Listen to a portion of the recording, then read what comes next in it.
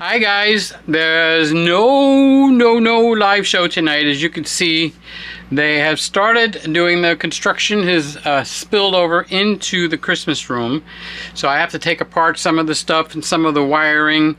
And I think it's much safer if we take the cameras and pack them up like Randy and Sly into the bags, keep them getting stolen, number one. And number two, uh, keep them safe. So let's do this. Let's do a summer hiatus between now and Labor Day or after because I really don't know how this is going to unfold. But I'll tell you what, um, I can walk around anywhere I want in the house. I'll show you. All right, so I moved out of there while they're working in there and came over one room so I could finish this up.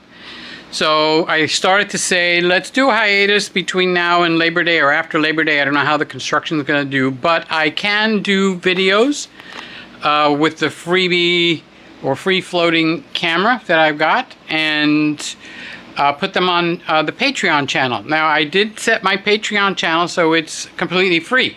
You don't have to pay nothing. You do have to have a membership which is kind of like subscribing on YouTube. You sign up for a membership and I can put as many videos as I want and show you what's going on, how it's going, and what is going on. So um, that I will keep active because I'm not limited to any particular spot. I could take this camera or any other one, walk around uh, and uh, uh, put up the videos.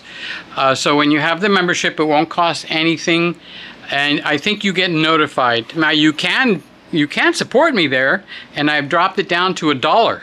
So, I mean, that is a nice way to support me if you want. You can go as high as you want or as low as you want. Um, and I'll be putting the videos on the Patreon. I'll put a link to that down below. So go and subscribe over there. But they don't call it a subscription, they call it a membership.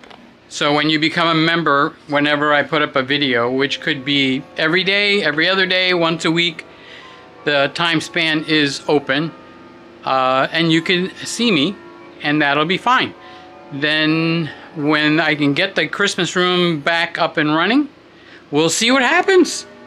Say la vie, as they say. We don't, it is what it is. Whoops, if I don't fall over. All right, have a good one, guys. Bye.